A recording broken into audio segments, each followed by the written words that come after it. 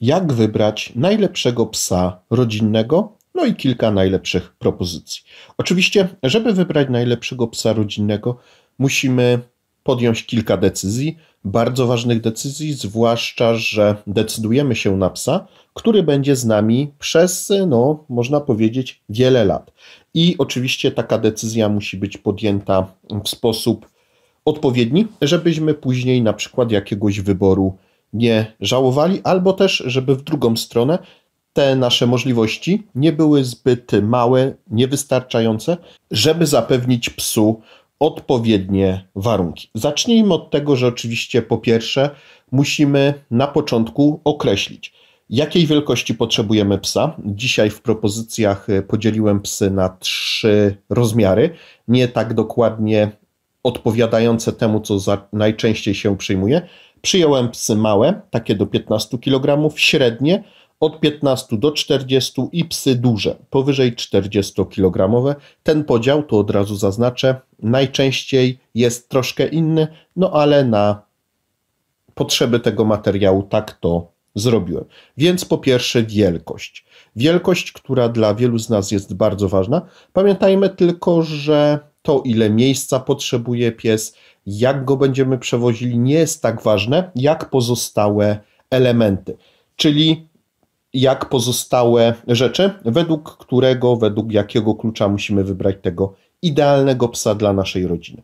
Kolejną rzeczą jest ilość czasu, jaki jesteśmy w stanie poświęcić dla naszego psa, ile czasu i chęci jesteśmy w stanie poświęcić na zapewnienie mu odpowiedniej dawki ruchu, ale też wysiłku umysłowego, ale też bardzo ważnym parametrem jest też to, jak blisko możemy być też z tym psem, jak blisko w ciągu całego dnia i jak długo w ciągu całego dnia ten pies będzie mógł przebywać z opiekunami. Niekoniecznie z całą rodziną, ale z poszczególnymi członkami tej rodziny. Ponieważ należy pamiętać, że psy, które dzisiaj wymienię, z reguły są psami, które wymagają bardzo dużo naszego czasu, obecności obok nas, naszej uwagi i oczywiście są też psami, które źle znoszą samotność. I wtedy, kiedy już wiemy, jakie potrzeby będzie miał nasz pies, możemy dopiero podejmować decyzję, jakiego psa wybrać. Tutaj bardzo, bardzo, bardzo ważnym czynnikiem jest to, jakie psy nam się podobają. Ponieważ wybór psa, który nam się nie wy... ponieważ wybór psa, który nam się nie podoba ze względu na jego wygląd, może przez pierwsze tygodnie troszkę nam przeszkadzać. Później, wierzcie mi, polubimy tego psa, wręcz niektórzy powiedzą, zakąchamy się w tym psie, nawet jeśli jego wygląd będzie zupełnie nieodpowiadający naszym, można powiedzieć, wymaganiom. Psy no, mają taką właściwość, że potrafią w sobie rozkochiwać, chociaż to jest złe określenie, ale potrafimy się do tych psów, do ich wyglądu przyzwyczaić i docenić ich cechy charakteru. Ale to, jak wygląda pies, też jest bardzo ważne.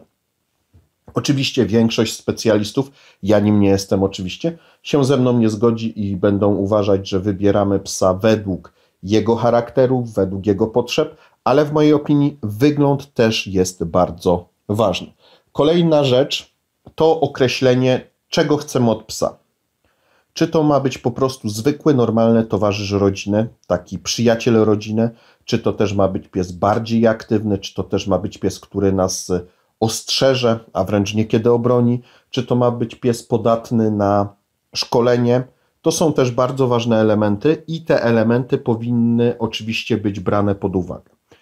Ale najczęściej, kiedy myślimy o psach rodzinnych, to myślimy o psach, które spełniają te takie najważniejsze warunki, jeśli chodzi o psa rodzinnego. Czyli bardzo mocne przywiązanie do opiekunów, w miarę duże posłuszeństwo, łatwe szkolenie, żeby ten pies był optymistycznie, wesoło nastawiony do całego otoczenia, żeby w miarę dobrze znosił kontakty z młodszymi członkami rodziny, tak żeby po prostu do tej rodziny mógł się dostosować w sposób y, jak najlepszy. Do tego z reguły wybieramy psy łagodne, czy też psy, kiedy na przykład chcemy, żeby też stróżowały, czy też nawet nas obroniły, psy zrównoważone o stabilnym charakterze. I właśnie takiego psa poszukujemy. Psa, którego będzie łatwo wychować. Pamiętajmy tylko, że nawet te najłagodniejsze psy trzeba wychowywać. Psa, który będzie mógł naprawdę być tym fajnym członkiem rodziny, ale tutaj może przejdźmy do propozycji. Tak jak powiedziałem, podzieliłem te nasze pieski na trzy grupy: psy małe, psy średnie i psy duże.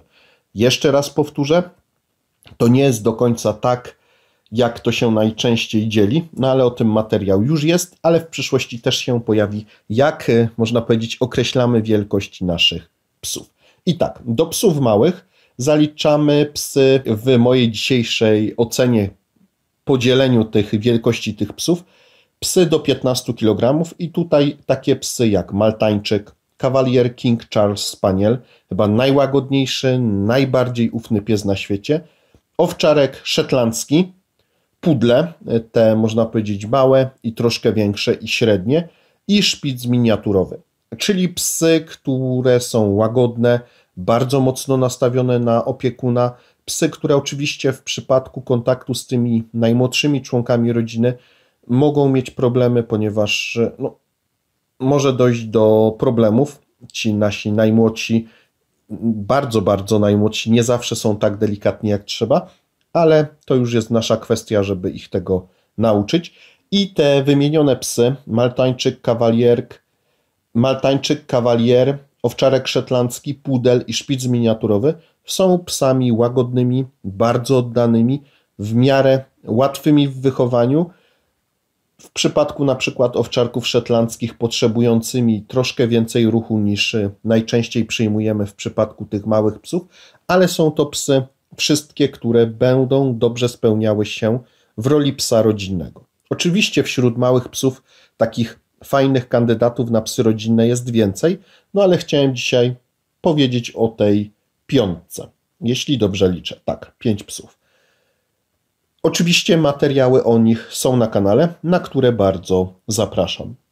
Na które bardzo zapraszam. Kolejnymi psami, tymi już średnimi, są takie legendy jak Golden Retriever, Labrador Retriever, owczarek szkocki długowłosy, samojed, Cocker Spaniel.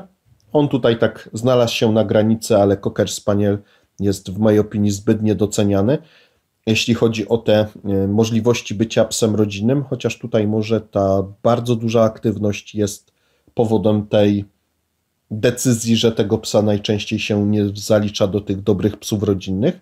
I owczarek niemiecki. Tak, owczarka niemieckiego nie mogło zabraknąć, chociaż wiele osób e, uważa, że troszkę na niego psiocze, że tak powiem, to uważam, jego, to uważam go za jednego z trzech najfajniejszych psów to uważam go za jednego z trzech najfajniejszych psów na świecie. I te wszystkie psy już będą o wiele większe, to już psy ważące dwadzieścia kilka do 40 kg, potrzebujące troszkę więcej ruchu niż wcześniej wspomniane psy małe, do tego potrzebujące dokładniejszego wychowania, zwłaszcza w przypadku owczarków niemieckich, które są naprawdę tutaj wymagające, ale potrafią ten czas, który musimy im poświęcić, zrekompensować wieloma zaletami. No i oczywiście taki pies jak Golden, ale też pozostałe te psy wymagają bardzo dużo naszego czasu i uwagi, żeby po prostu były szczęśliwe. Jeśli natomiast chodzi o psy duże, czyli takie od 40 kilku i ponad 50 kg, to tutaj mamy takie psy jak berneński pies pasterski, dog niemiecki, bernardyn i owczarek podhalański. Tutaj już musimy pamiętać, że ta wielkość tych psów jest już naprawdę znaczna. Są to też psy nie tak łagodne, nie tak spokojne jak te psy małe i są to psy, które wymagają większej ilości konsekwencji oraz w przypadku przykład owczarków podhalańskich również warunków do pilnowania oraz większej ilości przestrzeni. Jednak y, są to psy bardziej wymagające. Tutaj jeśli chodzi o przestrzeń, nie chodzi o to, że ten pies jest duży, tylko o to, że owczarek podkalański bardzo dobrze czuje się na przykład w miejscach, gdzie tej przestrzeni jest więcej, czyli dom z dużym ogrodem, czy też jakiś plac, tak żeby mógł go pilnować. I w przypadku tych dużych psów nie zapominajmy o tym, że je też trzeba wychować, ale je też trzeba, nie trzeba, warto szkolić i są to psy, które potrafią być równie dobrymi psami rodzinnymi, zapomniałem o bardzo ważnym psie. Jak mogłem zapomnieć o Nowofunlandach? Miało być pięć psów dużych, bardzo dużych i nie powiedziałem o, Nowofu- i nie powiedziałem o Nowofunlandzie, czyli psie, który też doskonale nadaje się na psa rodzinnego. Tutaj w przypadku tych dużych psów, bardzo dużych psów, są, musimy jednak pamiętać, że musimy spełnić o wiele więcej warunków. Musimy pamiętać, że wychowanie, prowadzenie tych psów może już niektórym osobom sprawiać problemy, no ale podobne problemy jak na przykład wychowanie i prowadzenie owczarka niemieckiego. Więc, jak widać, tych psów, które bardzo dobrze sprawdzą się w roli psów rodzinnych, jest dużo. W każdej z tych kategorii małych, średnich, dużych i bardzo dużych psów można by znaleźć kilka psów. No i może takie materiały też się pojawią. Spokojnie, wcale nie kończą mi się pomysły na materiały, dopóki niejako będzie chęć, dopóty tych materiałów będzie dużo. Więc jak najbardziej tych psów, y, które będą nam odpowiadały charakterem, ale też wyglądem i wielkością, jest na tyle dużo, że powinniśmy znaleźć dla siebie odpowiedniego psa rodzinnego. Musimy też pamiętać, że właściwie każdego psa można wychować i prowadzić jako psa rodzinnego, tylko że w przypadku niektórych psów może to być bardzo, bardzo trudne. Tylko że no, jeśli się postaramy, to jak najbardziej jest to. Ale teraz dziękuję za uwagę, dziękuję tym, którzy wspierają mnie poprzez postawienie symbolicznej kawy oraz oczywiście poprzez komentarz z super podziękowaniem. Dziękuję, że jesteście, dziękuję, że oglądacie. Jeśli możecie, zasubskrybujcie, jeśli jeszcze tego nie robicie, naciśnijcie dzwoneczek, ocencie, skomentujcie, pokażcie swoim znajomym, wrzućcie na swoje media społecznościowe, żeby te materiały mogły dotrzeć jak najszerzej. A na teraz do usłyszenia, do zobaczenia w przyszłości.